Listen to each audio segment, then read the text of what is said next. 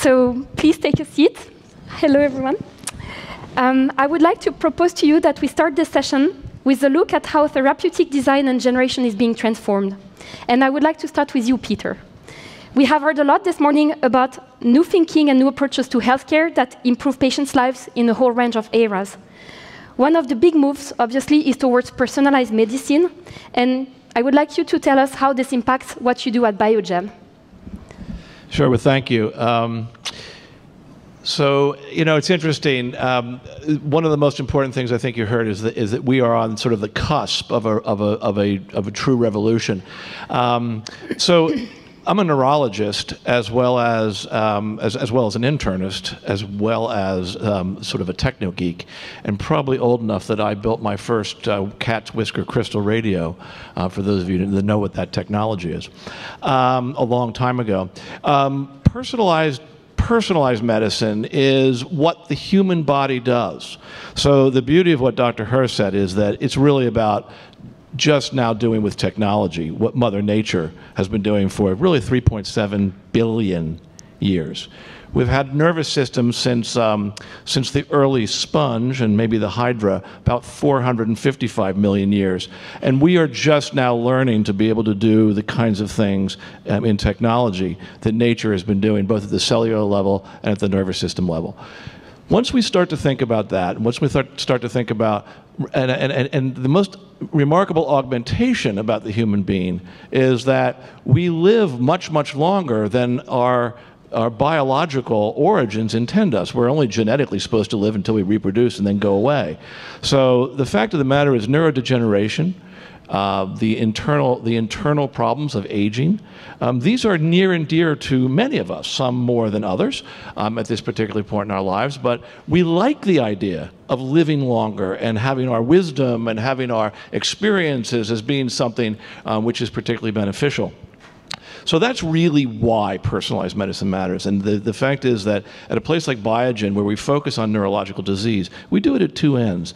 One is in the neurodevelopmental disorders, so a new drug, Spinraza, which has now been on the market, helps children that would die because they, their nervous systems start to develop and then they fail, and they would die by two. Now, by manipulating their, their, genetic, um, their, their genetic signaling, these kids are growing up to be, uh, or they've started to grow up to be children and uh, we presume that they will continue on that and grow up grow into adulthood. And on the other end, um, the children, the, the, children who are grown, who then reach um, the dementing age of about 35, and then it's downhill, um, are very interested in maintaining uh, their ability to to continue. So it's the fine-tuned ability to know what is what do we measure in somebody, how do we understand that, um, and then how do we manipulate that. That I think is really where the future is. Digital lets us do that. It closes the distance. It gives us it gives us uh, resolution, and it lets us provide in context a tremendous understanding of whether the drug works or whether the adaptation of the system works, whether we can manipulate the environment. These are all things that digital does. That's what the nervous system that has been doing for 500 million years, and the fact that we can tune it and tune it better, that's really the future. Thanks a lot, Peter. I would like to turn to you, Pierre-Yves and to ask how important you see the shift towards personalized therapies in clinical trials and what is the impact of remote operations there? Sure. Um, so first thing is, uh, well, I, I thought uh, it was adopted very, very quickly by the industry. What I came to realize it's, uh, it's, it's that uh, from Dr. Uh, Natwani is that uh, we're far from a, a, fast adoption compared to Pokemon Go. Yeah. Um, but we are seeing it having a tremendous impact. And, uh, and uh, of course, digital biomarkers are, are all over the place, but uh, what we see is that, uh, uh, for instance, in our case, we focus on electrophysiology. Uh, they're having an impact because it just speeds up the process significantly. And so, and so by focusing on, on personalized therapies, we can ha have the right treatment reach the patient much faster. And so to give you an example, in epilepsy, it takes on average three to five years for the right patient to receive the right treatment and be stabilized. Now, if you had an approach where you had a personalized therapy with digital biomarkers, with a companion diagnostics and the drug together, that you could speed up that uh, from, from years to just weeks. So it has a tremendous impact. Thanks a lot. And you, Eric, can you share one example of better outcome as a result of personalization? Yeah, I mean, I think there are a lot of uh, a lot of examples, but one one of the more uh, direct ones is, of course, the ability to be able to print customized implants and and ability to, ability to scan a patient's damage, um, fix it on in, a software, and then be able to print out that fix or that uh, that solution and implant it into the patient after. So I think the um, uh, of course, the merging between the software uh, 3D printing industries and uh, anything in between there is something we're going to we're going to see a lot of development in the next coming years. Um, personalized medicine is definitely an area that, that we at CELLINK are focusing heavily on. So I see it's major growth areas. Thanks, thanks a lot. And I would like to stay with you with my next question. And actually, I would like you to tell us a bit more about the innovations that you see coming in 3D imaging and 3D bioprinting. Yeah, so, so it's so it's a really exciting area, and I know we're, we're focusing a lot on software, and software is is an essential component to, to 3D printing. I, I think everybody in here is, is familiar with 3D printing. Uh, we'll do a really quick hand raising. Have has anyone here heard about 3D printing? Have. I know there's more. Um, but it's an exciting industry that's growing very rapidly, and, and I've seen it on a few slides previously.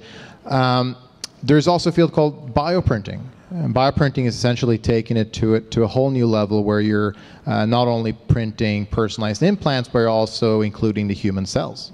So you can take cells from the patient, you can expand them, you can put in with a new biomaterial, you can print it out using a bioprinter, and then eventually in the future you should be able to implant this into the patient. So first of all, you get rid of the rejection of the implant because you're using the patient's own cells. Uh, but second of all, of course, the fitting of that implant is, is, is ideal. Um, and I think also in another application which is very exciting today, in which our technology is actually implemented today, is is um, taking the patient's own cells. So, for instance, taking a, a biopsy from a from a cancer tumor, uh, expand that, uh, expand those cells, place them inside of a novel biomaterial. Uh, you can even take an, an image or an MRI scan of, of the tissue they want to print uh, print it out with the bioprinter and then use that in your uh, drug discovery process. So as you're developing a new drug, you can test this drug on, on the patient-specific tissue and patient, uh, patient-specific cells. Um, and and this is even prior to going into preclinical studies. So hmm. even using before using animals. Uh, so it's a very exciting area. Uh, it, it's a combination of software and, and also the hardware. Um, but but we definitely see the personalized aspect is, is essential, and, and we see that a lot of pharmaceutical companies that we're working with today, and we're working with the, with with the majority of the top top 20 uh, pharmaceutical business um, uh, companies today, uh, where they're utilizing this type of, of, of, bioprinting technology for for a wide range of both personalized but also more mass um, mass areas. Thanks a lot. That's that's very impressive. I would like to turn to you, Peter. You're also using 3D technologies. I don't know if you're using 3D bioprinting yet, but you're using a lot of 3D technologies. So do you want to share a little bit more about that and what is the most important according to you? Sure. So, um, so we're not yet using um, 3D printing, um, at least not um, in the bioprinting space. It, it certainly is. I, I, mean, I will tell you that um, if, if there were any Biogen um, folks from my from my device part of the, of the business say, well, come, come on, we do this all the time. We, do, we use 3D printing constantly for prototyping, and you know most of most of Biogen's molecules are given parenterally or given subcutaneously, and so there's a tremendous design cycle, and the and the 3D printer, the 3D printer, and, and the 3D printing technology um, is really critical um, for, um, for for moving for moving device uh, and drug delivery um, forward. So that's certainly one uh, one area. But I would say that for us, 3D is, is bigger. So I, I, run a group, Digital and Quantitative Medicine. And for us, digital and quantitative medicine really is thinking in 4D. So we're thinking in a dynamic space, um, but we're thinking in terms of we're thinking in terms of space, and we really think we really do think in terms of space time.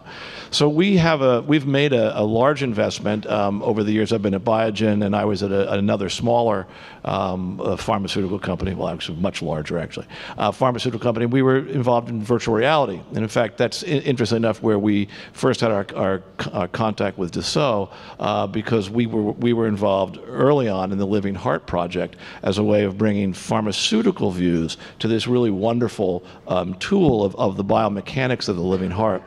So today, um, we're involved in, in understanding the, the anatomical and the anatomical chemical construct of the brain.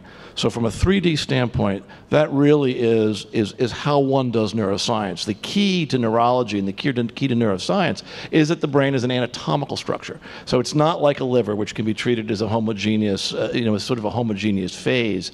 Um, but really, you have to actually treat the three-dimensional structure and then the temporal response of that three-dimensional structure. And so it's critical to be able to model that, to be able to understand it, and to be able to measure in that, in that space. So that's the way, that, that's the way we, we work. Um, it's actually how we think. It's how we, we conceive, the, conceive the work we do. It's how we do the measures. It's how we map the state of the patient onto the actual target space and circuit space of the brain. And so it's fundamental to, um, to, the, to the sort of Biogen uh, intellect and the, and the, way that, the way that we solve problems. Thanks a lot. With that, I would like to, to turn to you, Pierre-Yves. Um, Peter, you've been describing the work you're doing in 3D uh, virtual plus real with Dassault System tools, and I would like to turn to you, Pierre-Yves. Are you also leveraging Dassault System tools? Is it in virtual plus real, or what else are you doing, and how does it help you solve your business problems? Yeah, we're, we're we've we've been uh, adopting Dassault Systems uh, software since the, the very beginning of the company. Uh, one uh, very exciting thing that we're doing right now is, uh, is for instance, to, to, to think about uh, sensor placement, uh, but also how different bodies will yield different signals. Uh, on our sensors. And so, uh, for instance, we're trying to uh, solve a problem in, um, in cardiotocography right now. Um, so uh, when a mother is pregnant, can you record the fetal ECG? Now that's very difficult because those those are kind of patients that are not uh, easily accessed to uh, in clinical trials, um, but also the um, the, the ever-changing uh, size of the fetus, uh, but uh, makes it particularly complex. And so we used some of Dassault Systems tools to modelize what happens when the organs change, when, uh, when the signals go through different uh, types of material. And that helps us better understand how many sensors we need to position, uh, where we need to position, position them, and how it's going to change over the time. Yeah. Thanks a lot. And with that, I would like to stay with you, and maybe we can go more broadly on the diagnosis field. And I would like you to um, explain to us how you are helping patients and doctors to collaborate better and share data that ultimately change patient experience. Right. So one of the challenge, and I think it's been addressed uh, by previous speakers, but one of the challenge in digital healthcare is you need to have a lot of people uh, working together and collaborating. And uh, so uh, our solutions um, while we started as a wearable company, we actually uh, cover a lot of telemedicine and uh, electronic patient reported outcome. And so we have solutions uh, to allow the patients to report information to the doctors, but also for the doctors to collaborate on a specific case. Uh, as we started in epilepsy, that's particularly interesting as um, we see uh, a shortage of uh, specialists in, the field, and uh, doctors needed to, to talk about specific cases with each other. So, for instance, uh, an epileptologist that focuses on adult EEG might not necessarily know how to read pediatric EEG, and then when they receive a pediatric patient, can they then share that case? Uh, to uh, to a specialist and discuss about that about that. We're, so that first part is covered. We do that very well right now. We have over 200 uh, hospitals using our solution. Um, we're moving forward with uh, with uh, AI as well uh, to help replicate that experience of the remote expert helping you read their information, and that's particularly interesting in areas where there are shortages of specialists, and as well helps reduce healthcare costs. Yep. Awesome. Do you want to tell us a bit more about the, data, the, the kind of data science that you would be doing then? Uh, sure. So, I mean, uh, the EEG is uh, is is a non-stereotypical type of data. So uh, we combine uh, for our AI. We don't. Uh, well, we wish we had the data sets to do deep learning. we do not, and it's just not available right now, or the quality of the data is too poor. So we combine. We we mix. Um, uh, the guidelines, expert system, signal processing, and then uh, and then at the very end uh, you add the machine learning to help uh, replicate uh, the best. That actually has a so not only are we able to to uh, therefore replicate the best best expertise and put it out there. But it also helps us because we're using the guidelines to push the guidelines out in the field as fast as possible and, and help them be adopted by hospitals much faster than in the past. Thanks a lot, Pierre-Yves. Eric, I would like to turn to you. We've discussed with Pierre-Yves and with Peter how, what they're getting from working with the Dassault system. May I also ask you what you expect from our uh, collaboration with the Dassault system? Absolutely. So um, uh, we uh, we use the Dassault Systems products in, in, in multiple different ways. So so uh, first of all, of course, the most obvious one is design of our products, design of our our systems, taking it all the way from an idea stage um, to to the final product, manufacturing, and then out to customers. So we we design and, and, and make the printers. Uh, we make all that in. Uh, majority of that is made in, in, in Europe, and some is in uh, manufactured in America. Um, but the Dassault system softwares are, are, playing a vital role for us to rapidly being able to to design these types of products and, and, and stay at the ahead of the innovation curve. Um, but then also from the second standpoint is for customers and and also for what people are using uh, these printers and, and, materials for. So, for instance, if you want to print a a small piece of a human liver. Uh, of course, first of all, you, you would want to you want to get this um, model from the patient's uh, own tissue through a um, through a scan, uh, an MRI scan, you would take this image, you can convert to an STL file, import an STL, STL file into, into the Dassault software, uh, and you can start doing imaging of, of, of that tissue. Uh, next thing you could do simulations of that tissue and really understand where the challenge is. You could compare uh, diseased tissue to healthy tissue and really understand what is, uh, where is your you know, pinpoint problems. You, you pinpoint that. And then the last step, you can save that file, export it to the printer, and then print out that tissue, whether it's the diseased part or it's the healthy part. Uh, and then, of course, if you're a pharma company, you can then utilize that tissue and test your new drug. Uh, if it comes more for the for the implant side, uh, it will be the same thing. Get a scan from the patient, scan the uh, the defect, whether let's say it's a meniscus. Uh, you can scan that defective meniscus. You, you import it into the software. You can repair it. Uh, and then you can print out that same uh, same tissue using a bioprinter or 3D printer. So, so I think the, these softwares are extremely helpful in terms of both from the design perspective and also how our, our customers and how our, our researchers are working today. Um, there's also the opportunity of saving these files and sharing them around the world through a collaborative network um, and repository essentially of, of disease or healthy tissues that, that other scientists around the, around the planet can utilize for, um, for different bioprinting experiments. Thanks a lot. You've been mentioning simulation, and I would like to finish this customer panel by going back to you, Peter. We started about talking about virtual discovery, and I would like to close the loop. You've been mentioning what you're doing in 3D uh, modeling, virtual discovery. Then the question is, how do you make it real? Could you a little bit elaborate on what you said, virtual plus real? How do you make the connection?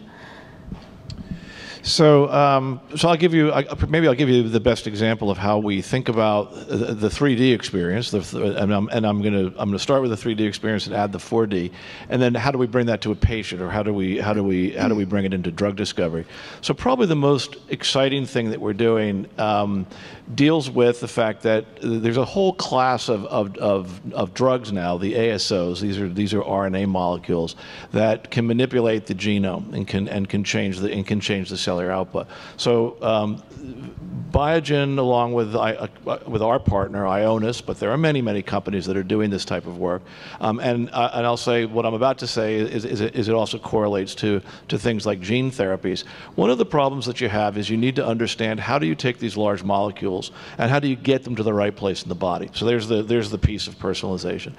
So one of the one of the things that we're working with Dassault on is to actually say, well, what if we could completely um, model on a dynamic basis the PK and PD, so the pharmacokinetics and the pharmacodynamics of the molecules that we're giving. Um, Right now, if you're going to give an ASO to the, into the central nervous system, you give it intrathecally, and that means you do a spinal tap and you inject the you inject the drug into the cerebral spinal fluid where it flows around the brain, and then it flows through the brain and through very very complicated physical chemistry that, frankly, um, we don't really even understand fully. Um, it undergoes a whole series of absorptions and then biological processes where it eventually gets to its to its targets. Well, the critical the critical component for the patient is the, the exposure, the exposure of the drug to the correct tissue at the right time and knowing that you can get it there. We don't really know how to do that. We've been lucky in Spinraza, there's a drug that was given for spinal muscular atrophy, which is a disease really of the spinal cord. So it turns out if you give the drug to the spinal cord or near the spinal cord, it worked very well to the, to the fortune of, of, of, uh, of the children and, and even the adults that, that we're doing this with. But now the technology is moving into, into all sorts of other targets in the dementing diseases. So they're up in the brain, diseases potentially like Parkinson's or, or progressive supranuclear palsy. These are diseases not of the spinal cord and they're not nearby.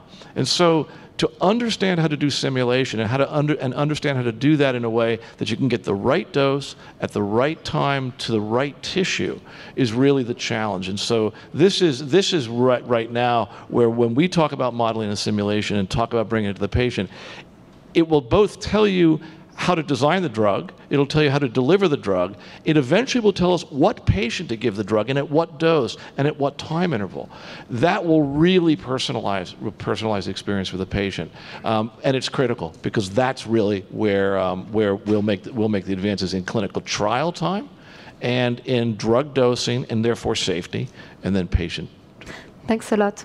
As a conclusion for the audience, I would like each of you guys, if you can think about the message you would leave the audience with in one sentence. Can I ask you to do that? Maybe I will start with you, Pierre-Yves. Uh, sure. I mean, my message is uh, I think uh, we all see that it's coming. Uh, it's going to happen, but uh, you know, the I while the idea is important, I mean, the key is the execution. And so uh, for that, we need an ecosystem. We need the patients, we need the, the big pharmas, we need the med medical device industry, we need the software, we need everybody to come and, and work together. And so uh, I think my message is just come join us. Thanks. I think that's uh, very well said. it's hard act to follow. but uh, I, I, mean, I think I agree. Uh, what I hear here is, is a lot of amazing ideas and a lot, lot of amazing things are happening around the world. Um, I think these types of venues are important to have, and, and after this, as you're saying, execution is important. So after this, people should set up collaborations. I mean, I want to work with both of you, so I'll leave it with that. So let me raise the ante. It's not coming; it's here. The question is how fast and how quickly do we do this and why? Because when, in our business anyway, it's about patients, and that's all of us. It's really about what is the fastest way to use the computational tools and the skills and the engineering tools that we've been de developing over just several hundred years. Now, finally, we're at that moment where it's like a well focused lens. We are ready to move forward at an incredible speed, and the only thing that's stopping us is our inability to work together. We need to do that better. And really, the patience, for me, that's the patients are waiting. Thanks a lot. Thank you. Thanks for having us. Congratulations.